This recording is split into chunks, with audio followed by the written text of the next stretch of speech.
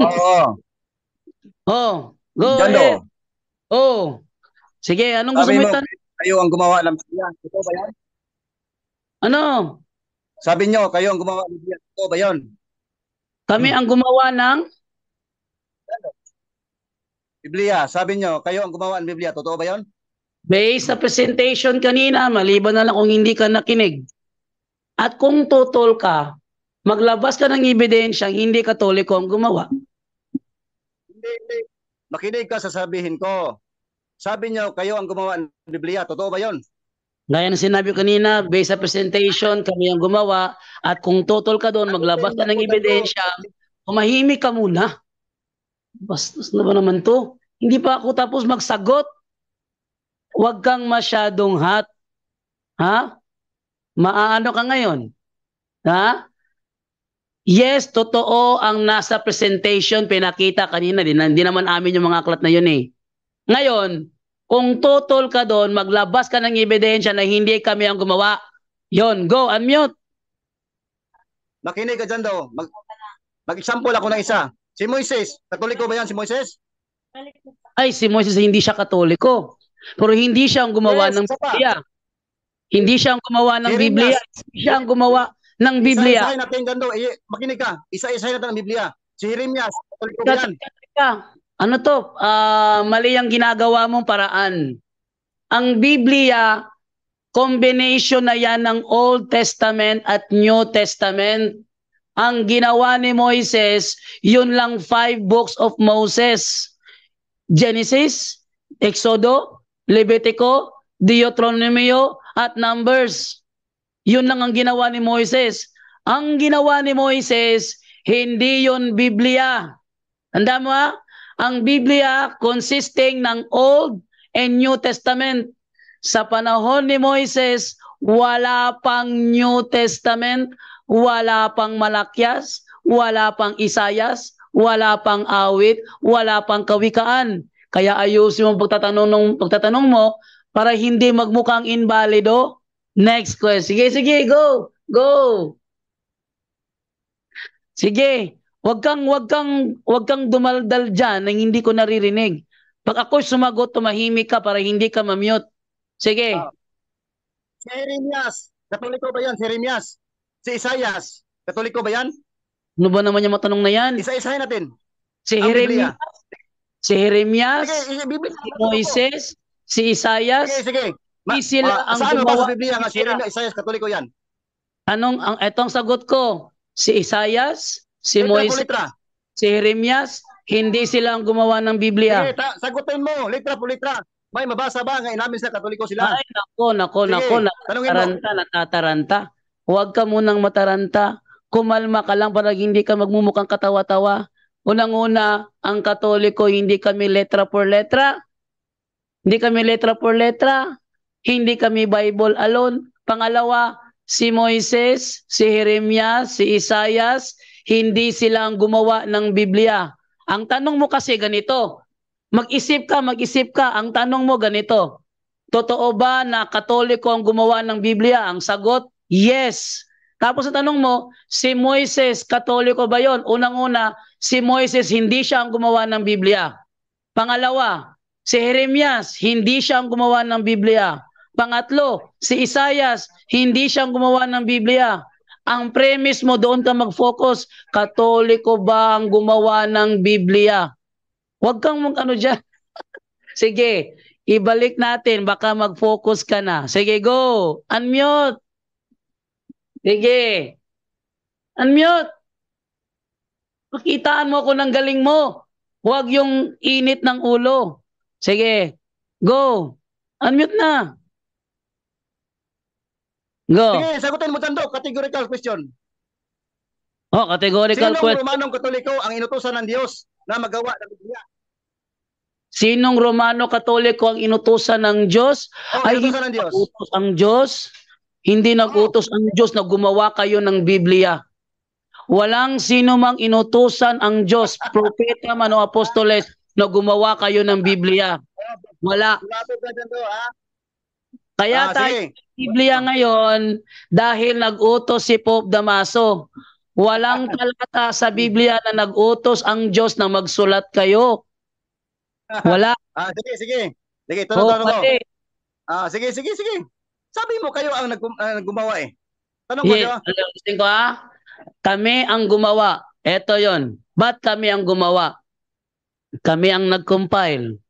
Ang Biblia, mga aklat yan na nagka, ano, nagka, ah, kung saan saan napunta. Kaya ang ginawa ng, ng Katoliko, nag-utos si Pope Damaso kay St. Jerome na ipunin lahat ng aklat. Pagkatapos, dinagdag ni St. Jerome yung 27 books as New Testament. Siya ang pumili ng mga aklat para gawing New Testament. At dahil doon nabuo ang Old and New Testament ng Biblia. At yun ang naging Biblia. Walang sino mang apostoles o propeta ang gumawa niyan para yay mabuong maging isang Biblia. Katoliko ang tumarbaho niyan. Katoliko ang nag-compile niyan. Ni walang kaalam-alam si Apostol Pablo na yung kanyang mga sulat kay Timoteo idadagdag sa Biblia. Wala siyang alam doon. Katoliko ang gumawa niya, kaya katoliko ang gumawa. Whether you like it or not, tanggapin mo man o hindi, wala akong pakialam doon ng sa akin. Isas, isasabi ko ang totoo, katoliko ang gumawa at hindi ang protestante. Next question. Dito, No. makinig ka sa akin. Sabi mo kayo may-ari ng Biblia. Oh? Yes. Oh, nakinig ka sa?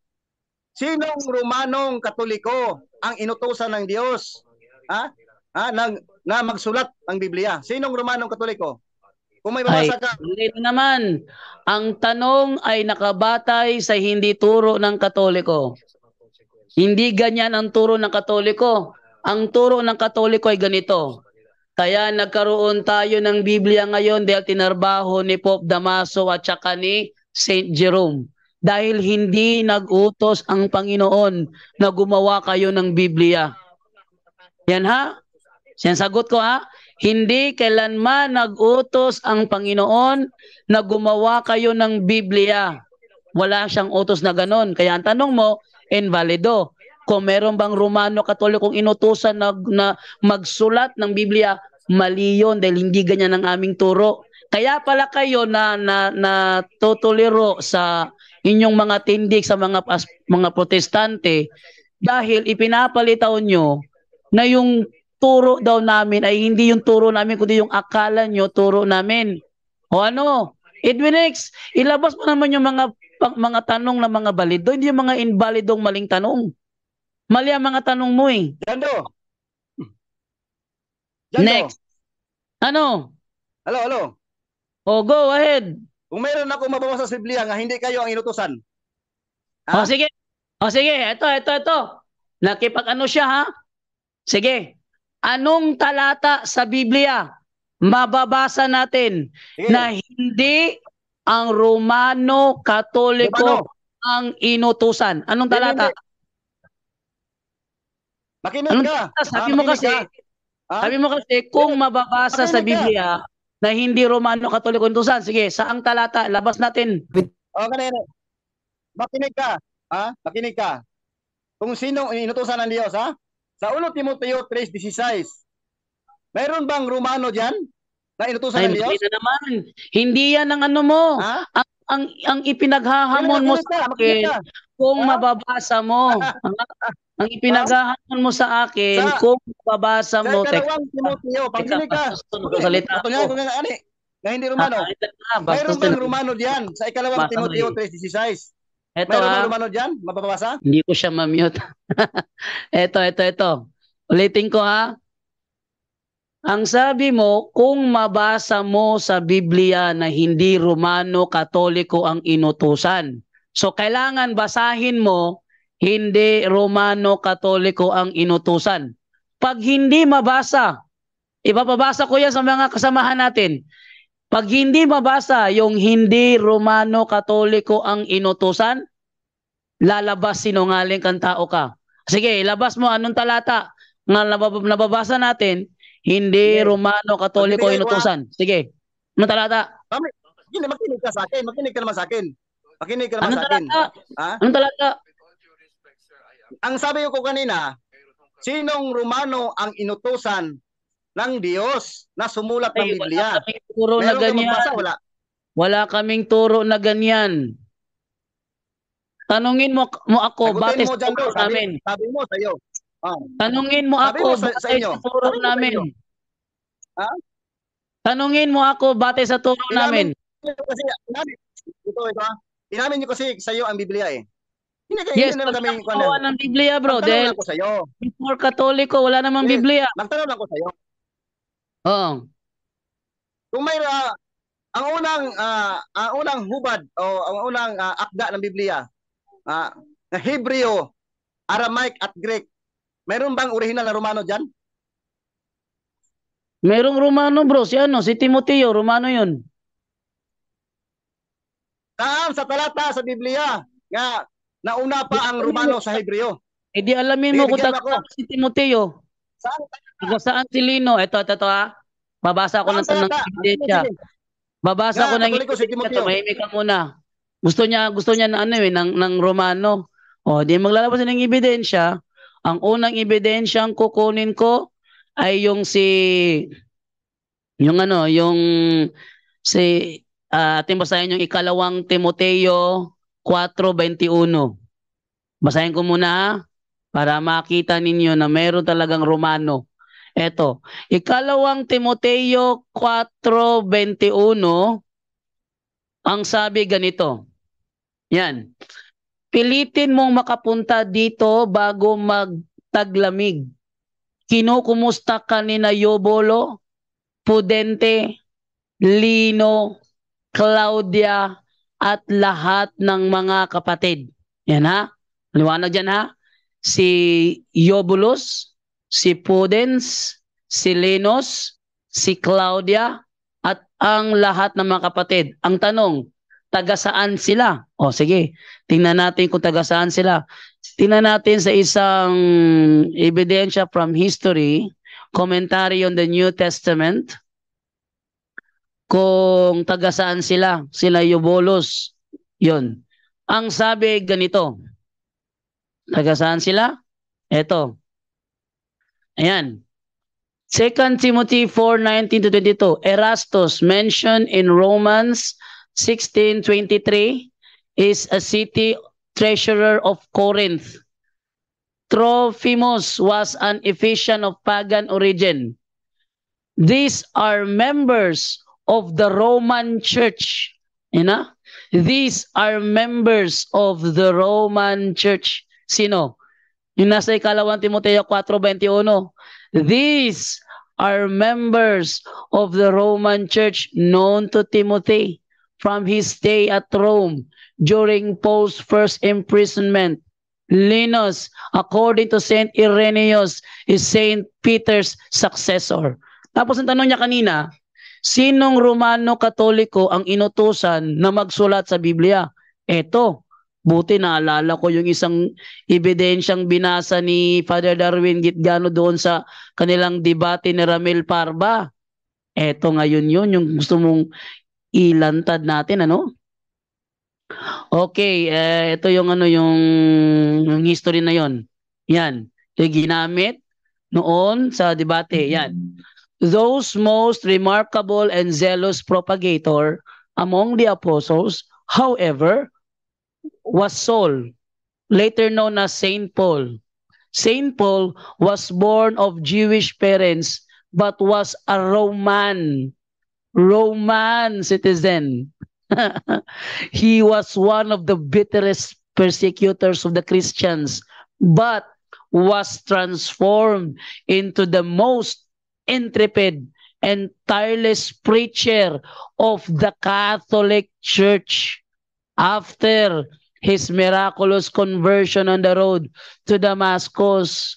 So si si Apostle Pablo is the most huh, the most intrepid and tireless preacher of the Catholic Church at siya ay Roman citizen.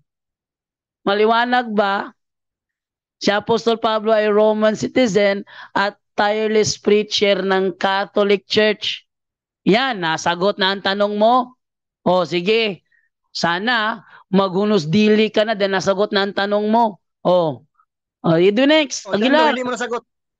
Oh. Sinong Roman Naman- Catholic? Oh, Litra po litra ba? Ano, ano, anong hindi ko naman hindi Litra nasagot? po litra. Sinong letra po Roman letra? Catholic? Litra po litra. Anong letra por letra? Ano ba naman to? Letra por letra? Ang katoliko ba letra por letra? Ay, kawawa naman to. Sige, maglabas na naman tayo ng isang pang ebidensya. Ayaw mo yan eh. Eto, si Apostol Juan mismo. Yan, si Apostol John. Eto ay sinasabi ganito. Sa paraphrase on the New Testament by Richard Baxter, sa John chapter 10 verse 16. Ano ang sabi ni Apostle John? And besides the Jews, I have chosen people among the Gentiles. Ito'y sinabi ni Kristo. John 10:16. Them I must call and gather to me, and Jews and Gentiles shall be one Catholic church. Under me, their only universal head and shepherd. Ayan. So nasagot na ang tanong. Next na tanong. Hindi, hindi Jando, hindi mo nasagot. Yung author, yung, yung, yung, yung sabihin ko. Yung sumulat ba? Yung sumulat. May Yun inamin ba? Ah, may Pablo sumulat. Diyos na Romano Katoliko. Word for Yun word. nga. Yun na nga. Ang, o, ang tanong mo, sinong Romano Katoliko ang inutusan? Si Apostol Pablo, inutusang magsulat. Si Apostol Pablo, Roman citizen. At si Apostol Pablo ay tireless preacher of the Catholic Church. Pagdugtungin natin ang mga ebidensya. Si Apostol Pablo, Roman citizen. Si Apostol Pablo, tireless preacher of the Catholic Church. Ngayon, tanong mo, sinong Romano Katolikong inutusan? Si Apostol Pablo. O, ang dali na lang naman nun. O, next question. Yung author. Yung nagsulat. Yung nagsulat. Yung nagsulat ba? Yung nagsumulat. Yun na nga, si Apostol Hindi Pablo. Hindi yung Romano sa. Katoliko. Kung mapatunayan ko nga Israel, si Apostol Pablo, kung mapatunayan ko, yung angkan si kabay namin. Paano? Saan angkan galing siya kabay namin? Kung mapatunayan ko, na Hudyo si, si Pablo. O, kahit sabihin pa natin na si Apostol Pablo ay lahi ni Benjamin, nasa Biblia rin naman na siya ay Roman citizen. Hindi ba nung sinampal siya? Sinabi niya na siya ay Roman citizen at siya ay tireless preacher of the Catholic Church. Kaya siya ay Roman Catholic Church. Oh, sige na, go ahead na. Oh, tahan na. Gando. Ha? Patunayan ko nga hindi angkan nga galing si Pablo na Romano. Angkan siya ng Israel. Kung mapatunayan ko, Ah, sige, sige, nga sige. angkan siya ng Israel. Kahit si Juan. Romel Palma, Badi Romel, andiyan ka Badi Romel? nga angkan siya ni Benjamin. Kung mapatunayan ko, na Romel, Israel si Pablo. andiyan ka Badi Romel? Hindi siya angkan sa, sa Roma. Oh, sige, andyan Ano? ka. Yes, bro. Saan talata nga sa Biblia, bro, na si San Pablo ay Roman citizen? Angkan. Okay. Angkan. Sikapin. Ah, meron yan.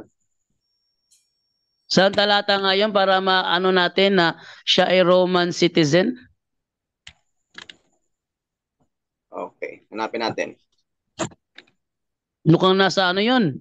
Gawa uh, 22 yata, nakalimutan ko na kasi. Gawa 22, try, try natin ha, baka matrace ko ha. Matagal ko na hindi nag, nagagamit yun eh. Gawa Sa Acts 22 yun, Acts 22-27. 27. Oh, Ah, ano, tama. Nasa Acts 22, from 22 to 29, nandyan. Yung explanation sabi, ni San Pablo, oh. bakit Oh, eto sabi. Sabi ni Apostol Pablo mismo. Kaya lumapit kay Pablo ang pinuno ng mga sundalo at siya'y tinanong, Ikaw gabay Romano? Opo, sagot niya. Oh. Edwin. Ayan Edwin. Gawa 22-27. Tinanong Hindi siya, ang ibig ko sabihin. Pa, ah?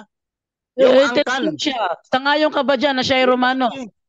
Normal, kaya dumating siya sa Roma. Yung angkan, Hindi, saan galing hindi, angkan si hindi, Pablo? hindi.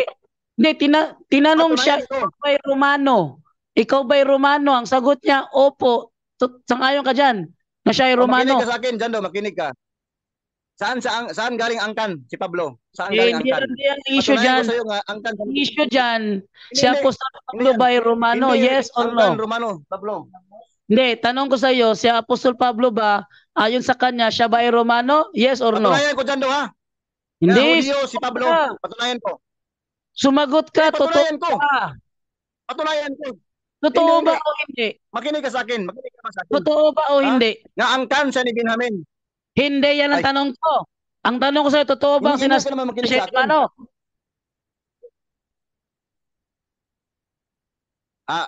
Jando, Jando, Jando. Ang pinagmulan, yung natin Hindi, ang hanapan hindi na ko tinatanong kung ano ang kanyang nagmula? pinagmulan. saan siya hindi nagmula ko ng angkan. Yan ang pag-usapan natin. Teka Oh, ha, yan ang pag-usapan, hindi kay Imano. ang tanong mo kasi, sinong Romano Katolikong inutusan na magsulat ng Biblia? Yan ang tanong mo, sinong Romano Katoliko? Hindi ka naman tanong kung sinong Israelita. Ang tanong mo, sinong Romano Katoliko? Ang tanong ko ngayon sa iyo, to make it clarify, totoo ba ang sinasabi ni Apostol Pablo na siya ay Romano? Yes or no? Sagot. Ano? And the next. Bigyan ako ng litra por litra. Nang eh. Romano Katoliko, utusan ng Diyos. Litra por litra. Sige, Ano, anong letra por letra? Hindi kami Bible babasahin, alone. babasahin mo. Letra por letra ka. Ano ba naman to? Natataranta na. Naipit na. Nabutata na. Kaya nagliletra por letra na. Ay naku, yan ang problema dyan. Alam mo, ang maling paraan niyang pag paggagamit ng letra por letra eh, ma- maling paraan yan. Oh, patunayan natin ang maling paraan yan, ano? Eto, ano ba yung sinabi niya noon? Saan ba yung ano yung yung sinabi ni Eli Soriano patungkol sa letra por letra? Yan ay mali, maling paraan ng paggamit ng Biblia. Oh, hindi amin to ha. Baka sabihin mo na sa amin to. Kukuha ako ng ebidensya, hindi hindi, hindi kami ang gumawa. Oh, ano bang sabi ni ano ni ito ay sa ano sa dating daan. Ito, pakinggan natin. at sana naunawaan mo. Kaya lang, di natin talaga matatapos pang usapan to, mahabang paksa ito. Kasi ang hinahanap mo palagi, mabasa, si Kristo ang tunay na Diyos. Kristo ang tunay na Diyos. Si Kristo ang tunay na Diyos. Yun ang gusto mo mabasa letra por letra eh. Eh, para kung hahanapin ko rin sa'yo, basahin mo, si Manalo ang anghel sa sikatan ng araw. Wala kang mababasa nun. Letra por letra, si Manalo anghel sa sikatan ng araw. Kahit nga sa lubugan ng araw, hindi mo kayang basahin si Manalo yung anghel eh. Yun ang ibig ko sabihin. Huwag kayong ganyan kung gumamit ng Biblia. Ang Biblia may lohika. Ang Biblia may sentido. Ang Biblia may konteksto. Hindi puro lahat ng katotohanan, letra por letrang mababasa mo. Hmm. Hindi puro lahat ng katotohanan, letra por letrang mababasa mo. Hindi puro lahat ng katotohanan, letra por letrang mababasa mo. Ayan, hindi lahat ng katotohanan letra por letra ang mababasa mo. Kaya ang tanong ko sa iyo, uulitin ko, ano? Ikaw ba'y sumasang-ayon sa sagot ni Apostol Pablo na siya ay Romano? Yes or no? Eh, ha, eh, yung tanong ko ha, yung tanong ko ha. Eh, inamin ko sa, sa yung Biblia eh. Hindi, Sinong ang tanong ko sa iyo, Romanong sumasang-ayon ka ba? Word for word. Ha, na sumulat ng Biblia na inutusan ng Diyos. Sino Yan yung Romano? Word for word. Ayan o, Romano, si Apostol. Pablo. Apostol Pablo, Word Romano. Sige, sige, sige, sige. Sige, mag- maganda yan. Saang O, sitas na Romano Katoliko? Romano Tanda. Katoliko ha. Ay, O, yung Romano Katoliko si Apostol Pablo. Ayan o, Romano siya. Tama ba, mali? Yung inutusan ng gumawa ng Biblia. Litra O yan na nga, litra. inutusan siya magsulat Litra ng. Biblia. Litra por litra. Word Ayan na nga, word. Romano. Sige, sige. Sige. Saan saan ah, saan sa Ayan na nga, oh. na Romano Katoliko inutusan ng Diyos. Ayan na nga, si Apostol Inutusan Pablo. ng Diyos ha, Inutusan. gumawa ng Biblia. Litra por litra. Ayan na nga, andyan na nga eh. bigyan ako ng talata. Sige. Ayan na mo. nga, ayan ang talata. Litra por litra, Romano Katoliko. Ayan, letra por letra. Si Ah, San Pablo, sabi niya, Mali siya ay Romano. Ha? Dili, O, inutusan, mo? inutusan ng Diyos. Romano Ayan, Katoliko. inutusan. Oh, sige, sige. Saan Sabi mo, talata? inutusan ng Diyos. Inutusan daw ng Diyos. O, sige. Ano ba ang sabi ni Apostol Pablo unang Korinto 14.37? Ano sabi ni Apostol Pablo? Kung inaakala ni naman na siya'y propeta o mayroong espiritual na kaloob, dapat niyang kilalanin na ang isinusulat ko sa inyo ay utos ng Panginoon. Si Apostol Pablo nagsulat utos ng Panginoon. Ano siya? Balikan natin 22-27. Aya lumapit kay Pablo ang pinuno ng mga sundalo at siya'y tinanong, Ikaw nga ba'y Romano? Opo, ang sagot niya. Oh, edi inutusan ng Panginoon magsulat Romano, Katoliko. O yay, nako. Oh, yan. Ang layo, na yan. ang layo ng sagot mo, hindi hindi mababasa. Ay, nako, taka, Ang malayo. layo, hindi mo mababasa. Hindi mo mababasa. Yung Buddy hanap Romel. ko, word for word yung hanap ko. Bro, Malayo ba ang sagot ko sa tanong niya? ac- actually yung malayo bro, yung pagkakaunawa niya, eh napaka klaro naman yung sagot, no? Pulidong pulido nga eh. Yung yung tanong ay sinasagot talaga punto por punto. Yun. Sinasagot natin punto por punto. Kaso nga lang, namimiloso po. Ang gusto niya basahin sa isang talata na Romano Katoliko ang inutusan. Ay nako, ano ba ang turo ng Biblia sa mga pilosopo? Basahin natin ang Kolosas 2.8. Ang sabi ganito sa mga pilosopo, mag-ingat kayo nang hindi kayo madala ng walang kabuluhan at mapandayang filosofiya ni Edwin X. Aguilar. Mga tradisyon lang ito at mga pamamaraan ng mundo at hindi mula kay Kristo. Dinadaan tayo sa pilosopo. Anong letra por letra pinagsasabi mo? Kailan ba naging theological ano yung letra por letra? Kaya nga kayong tayo mga Katoliko, hindi tayo letra por letra Bible alone. Natatawa ko kay ano? Kay Edwin X. Dinadaanan sa letra por letra kasi may ebidensya. Sino daw inutusang Romano Katoliko? Ito ah. Ating i-refresh ang mga ebidensya. Si Apostol Pablo, ang mga apostol, sabi sa paraphrase ng New Testament, sila ay shall be one Catholic Church. Katoliko sila. Pangalawang ebidensya, si Apostol Pablo mismo, tireless preacher of the Catholic Church. O, ating balikan yung ebidensya binasa ko kanina na si, ayan, Apostol Pablo ay tireless preacher of the Catholic Church. Ayan. Oh. Ayan o. Paul was born of Jewish parents. Tama. Siya ay pinanganak sa Jewish parents sa lahi ni Benjamin. Tama yon. But, but, was a Roman citizen. So wala akong problema. Sabi niya, patutunayan, siya lahi ni Benjamin. Siya lahi ng Israelita. Binasa ko na nga kanina pa eh. Saint Paul was born of Jewish parents. Binasa ko na nga kanina. Patutunayan, patutunayan, patutunayan. Binasa ko na nga eh. Oh, Saint Paul was born of Jewish parents but was a Roman citizen. He was one of the bitterest persecutors of the Christians but was transformed into the most intrepid and tireless preacher of the Catholic Church. Si Apostol Pablo pala, ha, tagapangaral ng Catholic Church. Ngayon, ang tanong, siya ba ay Romano? Ayan, siya ay Romano. Ayon sa gawa, balikan natin yung gawa 22-27. Anong sabi niya doon? Kaya pumunta ang commander kay Pablo at nagtanong, Romano ka ba? Opo, sagot ni Pablo. O yan. So si Pablo, tireless preacher of the Catholic Church. Siya ay Romano citizen at siya ay tagasulat ng ng kanyang mga aklat. Romano Katoliko si Apostol Pablo tapos sabi mo ang layo ng sagot ko. Ano ba naman 'yan? Yes, layo talaga. Yung hinahanap ko, yung mababasa. Yung Ayun, mababasa pinas- talaga. O yan, Ah, tanong yung ko. mababasa talaga. Romano Oh, Katoliko oh, na inutusan ng Diyos word for word. Sabi niya, ang hinahanap hanap ko. niya yung Saan mababasa. Saan talata? Eh, ah, eto ngayon, Sige, sige. Sumagot sige, naman sige. ako, nabasa ko ba na si Apostol Pablo ay katoliko preacher?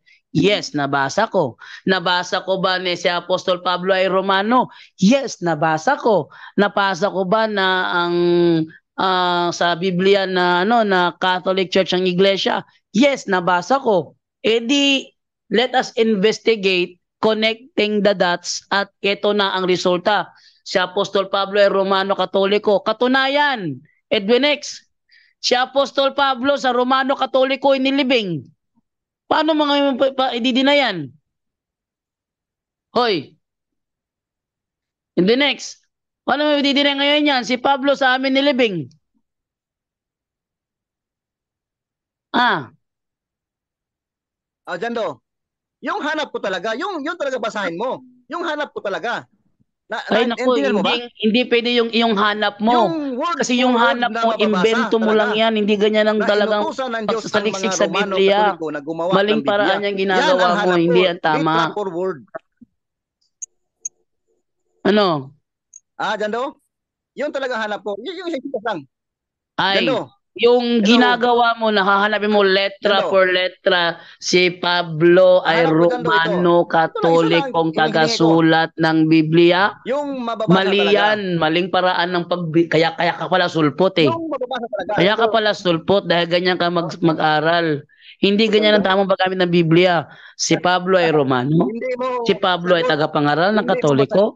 At si Pablo inilibing sa Romano Katoliko. Yes, eh. Kaya siya, oh, akalain mo, Sinong Romano si Pablo inilibing sa Katoliko? Romano Katoliko? Ah, Hindi sa inyo? word? Na inutusan ng, ng Biblia, word for word na sumulat ng Biblia. Sinong Romano Katoliko? Kala maba, yung mababasa talaga. Ayun na nga, Sitas, pinasa ko na. mo ng isa. Sinong Romano Katolikong inutusan? Si Apostol Pablo. Oh. Kung nga kung yung hinahanap mo letra por letra, di ko problema 'yan. Hindi, Ano? Hindi mo nasagot. Hindi mo talaga nasagot Ay, yung hindi daw nasagot. Balikan natin ulit. dyan. Brother Romel Palma, hindi ko ba nasagot? Ah, okay bro, Ah, actually kanina pa sa bro insert Yes. ng, ng kanyang paniniwala na sabi Yung niya daw kailangan ko, magpasa letra por letra. Pero kung naman babalikan mo ng katanungan, ay hindi naman siya sumasagot. Tinatanong mo sa kanila, may mayroon ba mababasa? Yung tinatanong niya sa atin, Brother Jando, saan daw mababasa na yung Romano Katoliko sa Biblia ha? Yung Romano Katoliko ang nag, nag ah, gumawa ng Biblia. Ang tatanong natin sa kanya, saan mo naman mababasa na merong gumawa ng Biblia diyan mismo sa Biblia? Okay, Brother Wendell? Anong sikta ba itong ah, nagtanong? Ewan ko, sa Badista siguro to eh. Ah, okay. Badista ka ba, Edwin X? Anong sikta siya? SDA ka, bro? Yes. Genesis 2.3. Wala pang Katoliko dyan. Ah, Anong. Genesis 2.3? Eh, Seventh-day Ah, Adventist ka ba? Eh, magtanong magtanong ako sa kanya, Brad Jando. Wala Ah. pang Romano dyan. Mayroon ng Ah. 70. Ang tanong ko sa kanya, uh, Brad Jando, ah, kapatid, sino ang nagpili na magiging 27 books ang New Testament? Yun. Sige bro, pakisagot yun. Sino ang pumili ng 27 books para gawing New Testament? Ako ang nagtanong ha. Ako ang nagtanong. Tinatanong ka Dapat ngayon kasi pakinggan nyo. Magtulong-tulong ah, kayo tinanong kita ngayon dahil ah, mariin mong ah, inyo. Ikaw, tinututulan, ikaw, ikaw ah, ah, ah, mariin mong tinututulan, Talibong, ah, sagutin mo yung tanong ko. talibong. ta- Sino ang nagpili sa na magiging 27 books ang New Question and Testament? answer, di ba? Ako dapat ang magtanong. Bakit Eh, huwag kang matakot, kapatid. Huwag kang Ikaw, matakot talibong, dahil baka ikaw sabi ang mo, ah, Sige, kasi- sabi mo kasi kanina na alam mo na hindi ang simbahang katoliko ang nag-compile ng Bible. Ngayon, pag ikaw ang tanongin, takot na takot kang sasagot. Sino ang nagpili na magiging 27 books ang New Testament? Ay, Brother Wendell, wala palang alam to sa patakaran ng punto por punto sa talakayan. Eto ha, makinig ka. Ang patakaran ng punto por punto ay ganito. Kapag nagtanong sa amin, kami sasagot. Kapag kumontra, kami ang magtatanong for clarification. Kaya obliged kang sumagot para pag kami ang nagtanong kasi for clarification yon. Kaya ngayon, ako yung sumagot kanina na katoliko ang gumawa, tumutol ka. At may mga ebidensya, pinagbabasa ko na, tumututol ka. So, ang clarification ni Brother Wendell ay ganito. No, no, no. Hindi ikaw ang may-ari ng programa. Hindi ko ang may-ari ng programa. At ang programang ito ay religious program. Kaya nga maraming nanonood sa amin dahil honest kami sa lahat ng tao eh. Kaya maraming nanonood sa amin dahil honest kami sa lahat ng tao nanonood. Kaya nandito ka, magtanong, kami sasagot. Pag kumontra ka, ikaw naman ang tatanungin for clarification.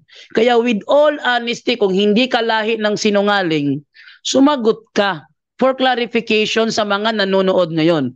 Ang Brajando, tanong pa ni Wendell ay ganito, sino ang pumili ng 27 books para gawing New Testament? Sagot.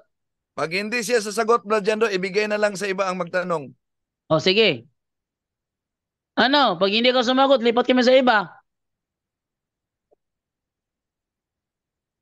Talibong, talibong. Talibong, talibong. Sino nga? Sagot. Wendell talibong. Sagot ba? Sagot. Sino? Talibong. Sumagot ka. Ang talata. Hindi, hindi, hindi. Na Brother Wendell, inutusan ng wag- Diyos. Brother Wendell, Huwag ka munang sumagot, Brother. Hanggat Hindi niya sinasagot tanong mo. Huwag ka ang sumagot. Brother Wendell, hanggat hindi niya sinasagot ang tanong mo. Yes. ibigay na lang sa iba, Brajando. Wala namang iba naka-raise hand. Eh, meron pa, meron pa. Wala, si Aljan lang yan. Oh. Ah, wala tayong makuha sa taong to. I-co-host na natin to, no? Uh, Edwin X Aguilar, eto. Hindi ko pa sasagutin si Wendell hanggat hindi mo binibigay ang clarification. Sino ang pumili ng 27 books para gawing New Testament? Sino? Sagot. Bakit nyo binaliktad? Ah, yung tanong ko. Ayun, Kasi ako ka. Ako ang nagtatanong. Yes, nagtatanong ka, sumasagot kami. Pag kumontra ka, babaliktad talaga ang sitwasyon. Yes, ah dahil Brajando, sabi niya hindi ang simbahang katoliko, 'yon ang Yes. ah pagmabasa niya umano. Kaya ah tinanong natin ngayon dahil hindi ang simbahang katoliko, merong 27 books ang New Testament. Sino ang nagpili niyan? O, sino ang nagpili ng 27 books of the New Testament? Pag hindi mo to, pag ito'y iniiwasan mo, Edwin X Aguilar, nakikita talaga na kami ang gumawa. Pag ito iniwasan mo to, kaya sagutin mo ng tama. Sino ang pumili ng 27 books para gawing New Testament? Sagot.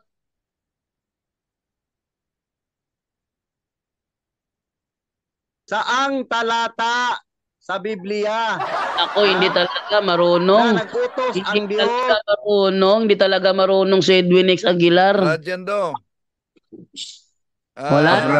ta- parang takot talaga siyang sasagot. Ah, palitan ko na lang yung tanong ko dahil sabi niya hindi talaga ang Catholic Church. Ah, itong tanong, sino ang nagtawag na itong aklat na ito ay tatawaging Bible? Yun. Sige, Edwin X. Sino ang nagtawag ng aklat na ito tatawaging Bible? Jando, Jando. Nakinig kayo Sino? sa akin, Jando. Sino? Ha? Sino? Nabaliktad naman yata. Kayo naman Sino? ang nagtanong sa akin. Ba't ako ang magtanong? Sino? Yes, Sino? kasi Dapat kumukontra ako ka ang sa aming magtatanong. sagot. Kasi kumukontra ka sa aming sagot, kaya ka tinatanong. Bakit? Oh. Hindi kayo U- nakasagot sa ulitin ko, tanong ko. Tanong nila. Ulitin ko. Ha? Ay. Hmm. Sino Wala- Yung ang, programa ninyo, ha? sino ang nagtawag? Yung programa ninyo, Brajando, sino ang nagtawag na ang aklat na ito ay tatawaging New and Old Testament Bible? Oh, sino ang nagtawag ng aklat na ito tatawaging New and Old Testament Bible? Jando, Jando, Jando. Sino Makinig bro? sa akin, Jando. Bro, Talibong, makinig kayo. ka ng pangalan bro. Makinig Sino? makinig- makinig Sino? Ah, wala to, wala to. Eto ha. Edwin X, ipapaalam ko sa iyo ang patakaran ng punto por punto. Dahil wala ka palang alam sa programang ito, ano? Ang punto por punto ay isang religious program. Kami tumatanggap ng katanungan. Marami nang pumasok dito at nakipagtalakayan. Ito ang rules namin, Edwinex. Pag kami sumagot, tapos kumontra ka, tutol ka sa sagot namin, kami ang magtatanong sa'yo. Huwag kang umiwas. Sabihin mo, dapat ako lang ang tagatanong, hindi ganyan dito. Dito, kapag, dito kapag kumontra ka dito sa aming sagot, ikaw ang tatanungin for clarification. Huwag kang umiwas. Yes, Brother Windel? may naki, nakiusap na dito sa comment ah, na please ah, itigil na yan, sayang ang oras. Yun, na lumabas na rin. Kaya dahil wala tayong makukuwang matino kay Edwinix Aguilar, kasi kukontra-kontra siya. Kukontra. Tatanong siya, sasagot tayo, oh yes, katolikong may-ari, katolikong gumawa, kukontra siya, hanapan ng ebidensya, wala namang may pakita. Sasabihin niya, hindi ako pwedeng tanongin dahil ako ang dapat magtanong. Eh hindi hindi ganyan sa punto por punto, bro. Pasensya ka na ha. Hindi ganyan ang sa punto por punto. Sa punto por punto, once kumontra ka sa aming sagot, oblige kang sumagot pag kami ang nagtanong for clarification sa mga nanonood. At the more na umiiwas ka sa aming tanong, the more nakikita ang pagkabutata mo. Pasensya ka na talaga. Dahil, eto ha, katoliko ang nag-compile. Pag kumontra ka, magbigay ka ng pangalan sino nag-compile. Katoliko ang nagpili ng 27 books as New Testament. Pag kumontra ka, magbigay kung sino nagpili. Katoliko ang naglagay ng chapter. Pag kumontra ka, pili ka, sumagot ka kung sino, sino naglagay. Katoliko ang naglagay ng verses. Pag, pag kumontra ka, magbigay ka ng ano, ng kung sino naglagay ng verses. Hindi yung kukontra ka, tapos kami hihingi ng clarification para sa mga viewers, umiiwas ka. Hindi ganyan po to. Ang dami na pumasok to para magipagtalakayan. Ano? Bro, Jan Lau. Yes, Brother Aljan. Bro, tanongin mo nga bro kung anong sekta ng kapatid nating Edwin Aguilar. Ay, Sabadista. Ah, Sabi Sabadista pala. Tsaka ito, ito, sabi niya, ano daw, sa Genesis pa daw, may Seventh-day Adventist na. Hala, totoo ba yun? Parinig natin si Johnson Amican. Totoo ba ang sinasabi niya na ano na na parinig natin si Johnson Amican na yung kanilang tagapangaral? Kung turo ba ng SDA na Genesis pa lang may Seventh-day Adventist na. Ito yung sinasabi ng kanilang ano, ng kanilang preacher. Saan si Johnson Amican? Johnson Amican, Seventh-day Adventist preacher. Ha? Ito sabi ni Johnson Amican, parinig natin. Ah, ito, ito, ito, ito. Ito, parinig, parinig ko. Ito, ito, ito sabi ni Johnson Amican. mula sa 0917-839-9322. Kailan ba nagsimula ang Seventh-day Adventist? At anong pagkakaiba niya sa Adventist? Magandang tanong to ha. Di ba si Ellen G. White nagtayo ng simbahan na ito? 1863. So, unang-una, Brother Doon Johnson. sa una muna. Oh, do- unahin, Yung- gusto kong unahin yung bandang huli kasi ah, para makita natin yung kabuuan Sige, na sige, sige. nasagutan. Ano, ho. Okay. Ah, si Ellen White po ay isa po siya, one of the founders. Ayan. Hindi ho siya lang ang nagtayo ho nito, kundi siya po ay isa sa tagapagtatag ng ah, samahan pong ito. Yan ha, maliwanag yun ha. Si Ellen G. White ay isa sa mga tagapagtatag. Hindi siya nakasumpong.